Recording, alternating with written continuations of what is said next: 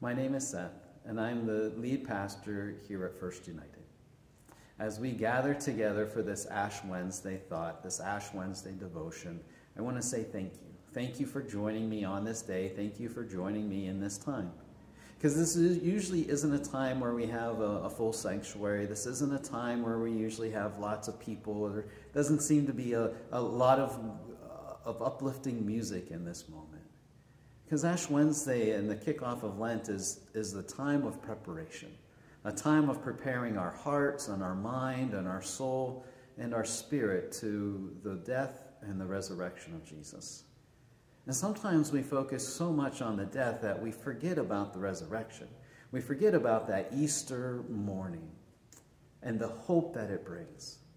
This Lenten season, we're going to, um, um, the church, we're going to be looking at hope and, and seeing hope as that spark of life, the hope that gives, that fills us with joy, the hope that fills us that there is purpose and, and life in who we are. But as we begin this Ash Wednesday, as we begin this Lenten series, we, we come to Ash, Ash Wednesday and we come to this moment where we look at, at receiving the ashes. And we receive those that are here. And, and ashes are mainly the palms, the ashes of the palms from the previous year and we put them on our foreheads and a sign of the cross or put them on our hands and, and just as a sign of humility, a, a sign of understanding of, of where we come from and where our body will end up as dust. But the magnificent part of that is that's not where we end up.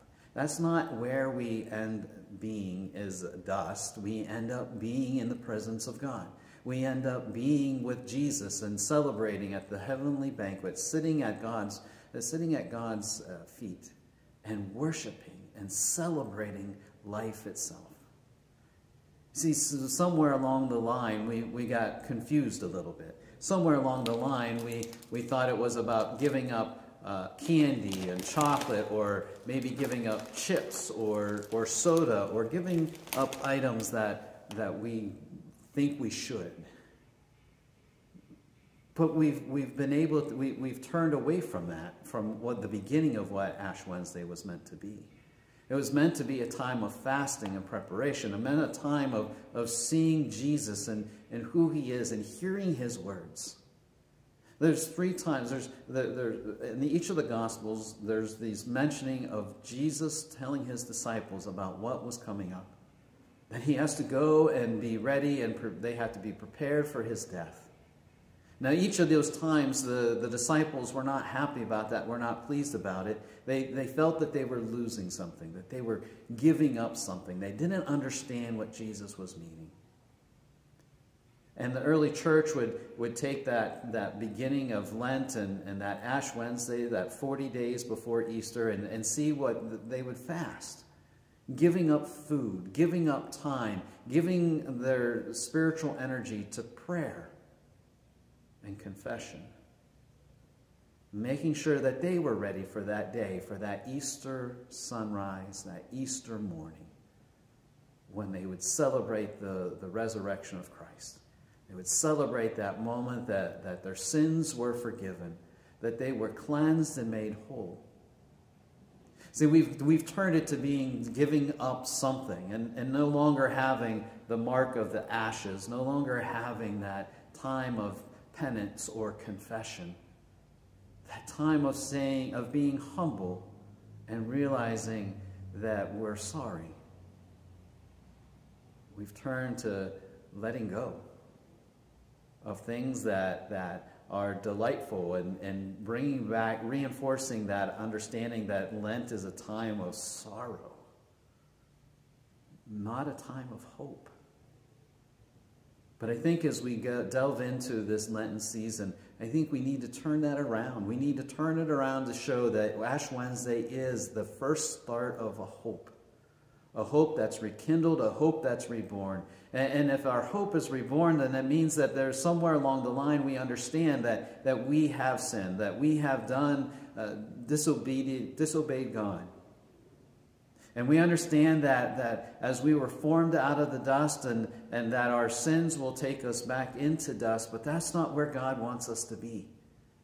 Jesus wants us to be with him at the right hand of the Father and being able to sit there and to celebrate and to worship in the hope that we have in Easter, the hope that continues to fill us and strengthen us, is that understanding of Lent, that understanding of being prepared, being ready, being hope filled. Yes, life is different.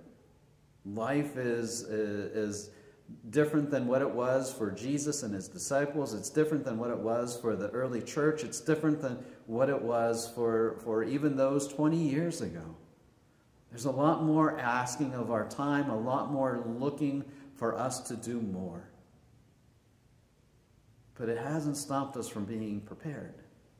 It hasn't changed that, that we should stop being ready and looking for where Jesus is and looking for that movement of God and hoping, hoping for that time when we will be with Him for eternity and celebration and worship filled with joy and hope. So as we go through our Lenten season, as we take our, our Sundays and Lent and we look at hope and we see that different aspects and how it continues to give us life and joy. Will you join me on this journey? Will you walk with me in this moment to celebrate? To celebrate Ash Wednesday, to, to take the, the time, maybe not to, to give up our chocolate or our, our food, but to really to take the time adding, adding it to our time of prayer being more introspective and thinking about all the wonderful things Jesus has done with us and for us. That this Ash Wednesday is truly a celebration. That this Lenten season is not only a time of, of looking at where we've come from, but also seeing the hope of where we're going. So let's walk on this journey together. Let's walk in this moment with hope and expectation. And will you bow with me for a moment of prayer? Gracious God, we thank you for this day. This day that the, the church, the, your disciples, the believer, your believers gather together to mark this moment of preparation, to mark this time of hoping, of seeing your resurrection, of seeing the empty tomb, and knowing that you are with us. And so, Lord, as we begin this time, continue to give us your wisdom, continue to help us to see your heart, continue to give us the courage to follow in your footsteps and following in your love. In your holy and precious name. Amen and amen. Thank you. Thank you for joining me, and I hope, I hope your day goes well.